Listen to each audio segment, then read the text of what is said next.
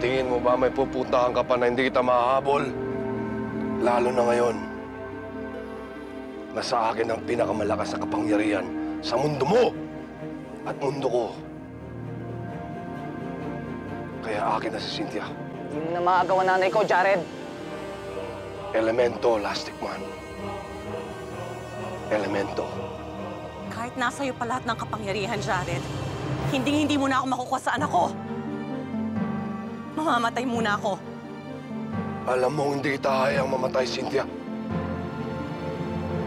Kahit gusto mo nang mamatay, hindi kita papayagan.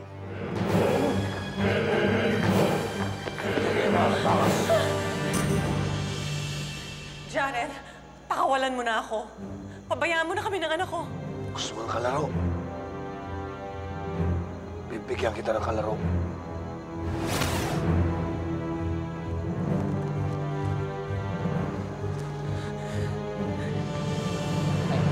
Magtago na kayo.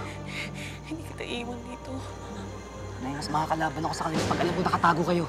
Sige na ho.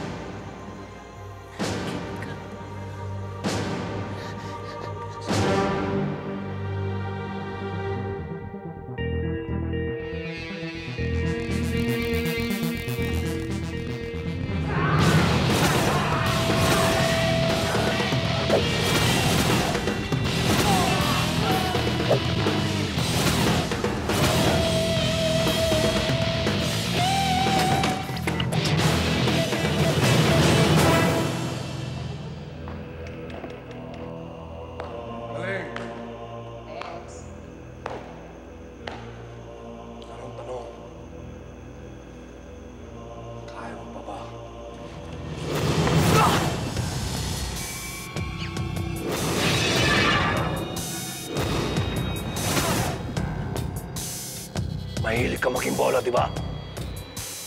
Masarap ba?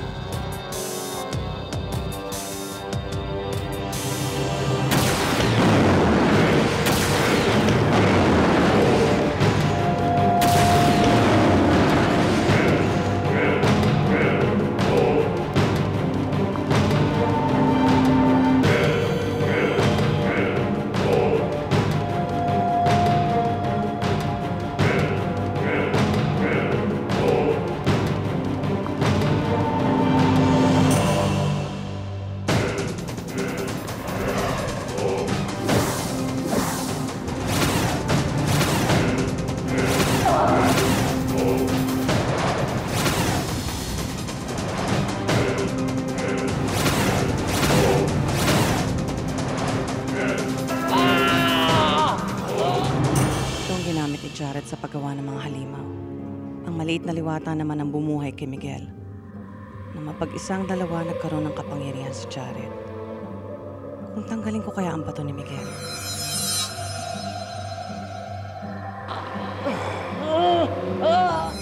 Magiging makapangyarihan pa kaya ang liwata?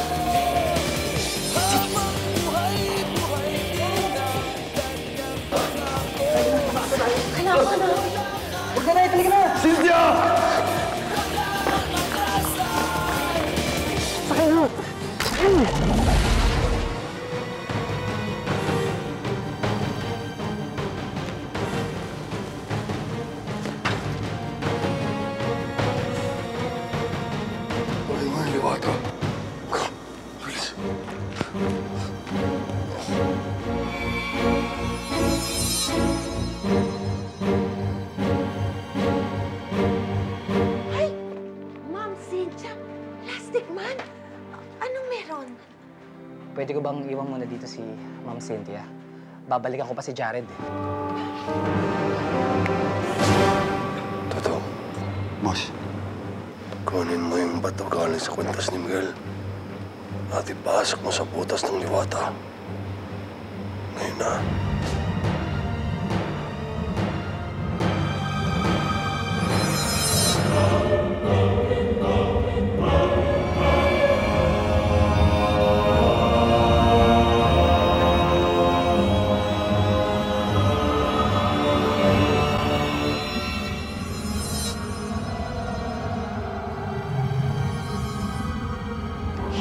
Habang buhay makapagtago sa akin, Jared.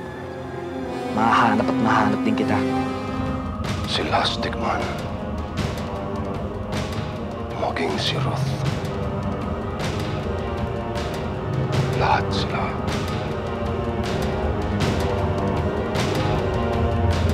Lahat sila ay maglalaho.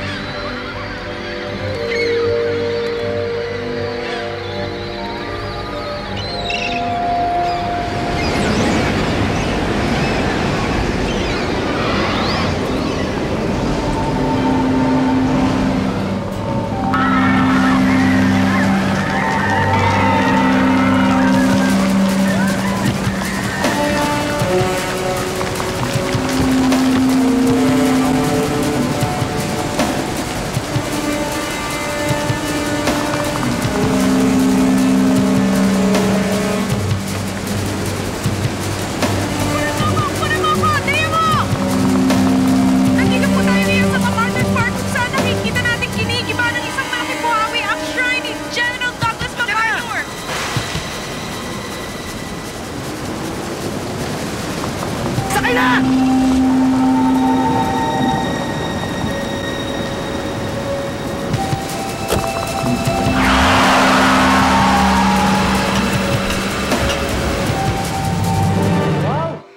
Sarap naman na agahan natin. Halika, kain na tayo. Dito pala si Ma'am Cynthia. Salamat ha. Kain na. Ayon sa latest update, may ipo-ipong naninira ngayon sa buong Cebu. Hindi lang isa kundi kalat-kalat na mga ipo-ipo ang sumisira sa buong lalawigan.